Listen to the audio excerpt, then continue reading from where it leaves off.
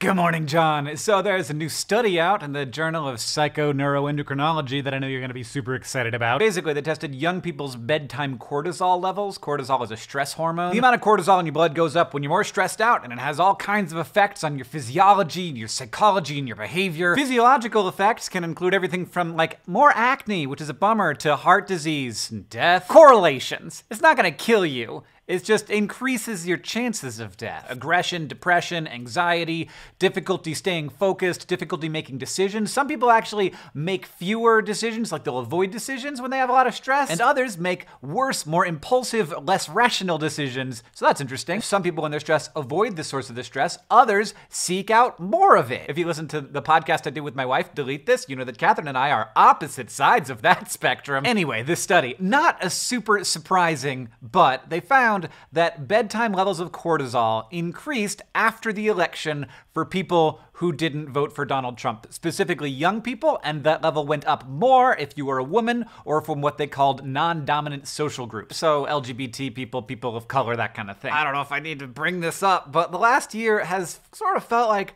just a constant barrage of upsetting or confusing news. Every week it seems like there's a new scandal, a new fear, a new tragedy, and all of these things are problems that need to be faced.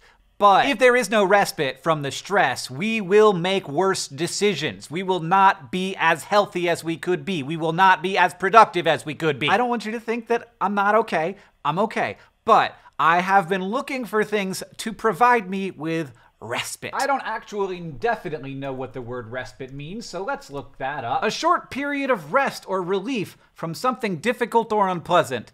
Yes! So I asked Twitter and Facebook if there were some things that I maybe am missing out on that are great. And here's a list of some sources of respite from other people and from my own brain. Starting off with Space Opera by Catherynne Valente. Finally, I feel like somebody had the chops and the guts to not just understand the genius of Douglas Adams, but to maybe even move beyond it in some ways. You want a book about glam rock in space? It's happening. The Horns of Bovids. There are 143 different species of bovids, which include cows, sheep, goats, and some other good stuff, and they have great horns. The Marvelous Mrs. Maisel, which is currently a season of eight episodes on Amazon Prime, written by the creator of the Gilmore Girls, and it makes me so happy. Hello from the Magic Tavern is a podcast produced by a guy who fell into a portal behind a Burger King and interviews citizens of the magical land of Foon, and it is always a wonderful break from all this Earth stuff. Janet from The Good Place. I mean, yeah, the whole show, but mostly Janet. Whenever I think about that character, I smile. This collaboration we did on Eons discussing the first ever organism. With help from PBS Spacetime and It's Okay to Be Smart, we got as close to the bottom of this ultimate question of where life began as we could get.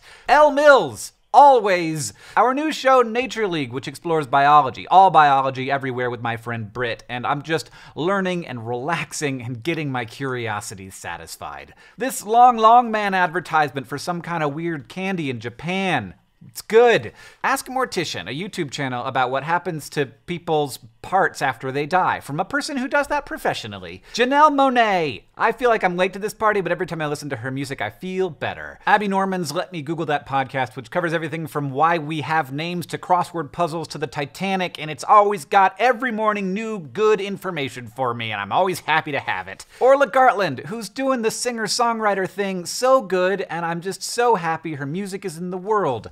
And finally, this three second long video of my baby's butt. John, I hope that this list provides you and some other people with some respite. I'll see you on Tuesday. And now it's time for the end screen. Gotta write me an end screen song. This one's not very good.